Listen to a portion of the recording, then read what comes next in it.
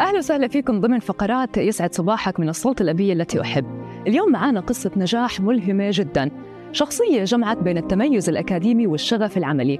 رغم أنه في تحديات وصعوبات عند هاي الشخصية مثل الإعاقة الحركية إلا أنها ما أعاقتها على السير نحو الشغف والعطاء. وكان حائز على جائزة الموظف المتميز على مستوى محافظة البلقاء.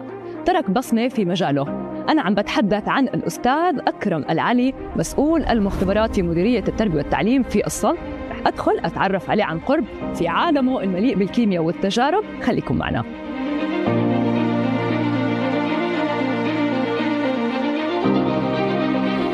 أهلا وسهلا فيكم من جديد. وصلنا الآن مع الأستاذ أستاذ الكيمياء أكرم أمير العلي. بدي أقول لك مبروك على الجائزة. الله يبارك فيك يا رب. آه ما شاء الله سيرة ذاتية غنية جدا بالمواهب وحافلة بالثقافة والتصميم والخط العربي. كيف جمعت هاي المواهب وهاي المعلومات مع بعض؟ شوفي آه، أنا بالأصل يعني قبل ما اكون في الكيمياء لا أنا أصلا خطاط و designer. يعني من صغري كنت اشتغل خطاط ورسام فالان لما أنا درست الكيمياء ربطت ما بين ال- ال- الفن وال graphics مع الكيمياء. إحنا معروف إن الكيمياء مادة جامدة وصعب تدريسها. فليش ما أنا أربط الكيمياء هاي بالحياة العملية تاعتنا الحياة اللي هنعيشها بالتجربة. وكمان بال بالملابس بالأكل اللي إحنا نتداوله. ليش؟ يعني ما أربط هاي الكيمياء في هاي الشغلات هاي كلها. فصرت الماده مثلا ناخذ مثلا عن الحموض مثلا.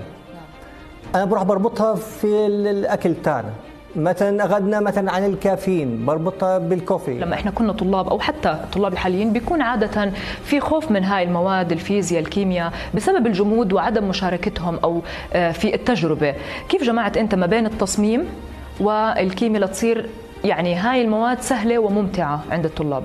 ال- الأستاذ هو عبارة عن فنان بالأصل. فإذا أنت ما تكون ما كنت يعني فنان في تدريسك فحتكون أكيد ما تقدر توصل المعلومه للطالب. فالمعلم المتميز ممكن يربط ال- ال- العلم اللي بعطيه سواء كان فيزياء ولا كيمياء ولا حياة ولا حتى رياضيات بربطها بالحياة تاعتنا فتلاقيه الطالب يتشوق لهذه المادة. أما الطالب بعطيك أو المعلم اللي بعطيك المادة آه، جامدة فأكيد أنت حتزهق منه وحتكره الماده كلها. طيب في الحديث عن ما شاء الله الكتب والمؤلفات الكثيرة اللي لك يعني حتى في قاموس قديش هذا الشيء ساهم في تعزيز مكانتك في مجال التعليم؟ لا شوفي أنا عندي الموسوعة العلمية الكيميائية وعندي قاموس الكيمياء وفي عندي آه، قاموس ال- ال- المركبات الكيميائية وأيضا في مع عندي شغل مع الجمعية الكيميائية الأمريكية اللي هو الأمن والسلامة في المختبرات الإصدار الس- السابع والإصدار التاسع. الآن ال- الكتب هاي أو شو عملت الكتب هاي؟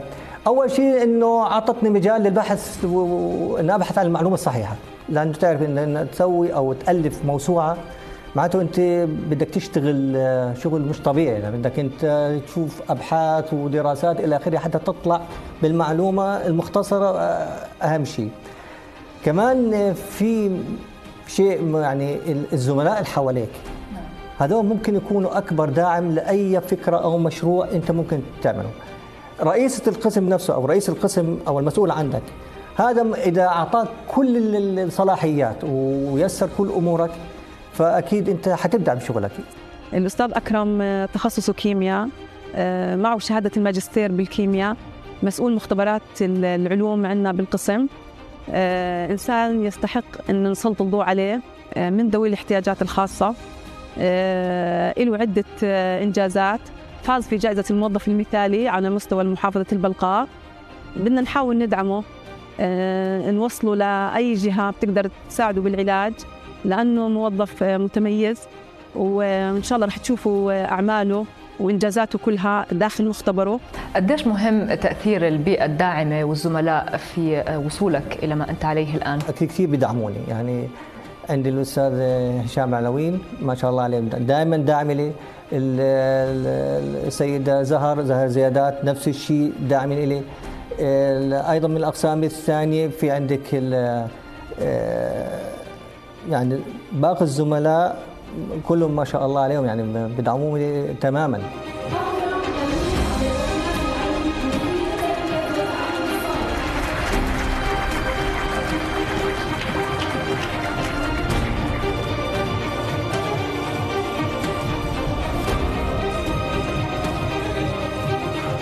شو بتعني لك جائزة الموظف المتميز على مستوى محافظة الملقاء؟ هلا شيء كثير. يعني تكون مميز على مستوى محافظة البقاء طبعا هذا شيء كثير. هذا دعم بدعمك لانك تشتغل أكثر.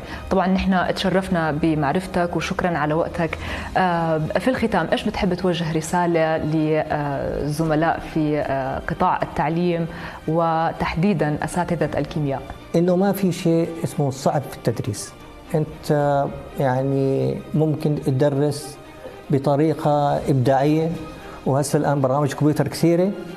آه، فحاول إنك تربط العلم اللي عندك ب بال يعني العلم التعطيه لطلابك بالحياة الواقعية.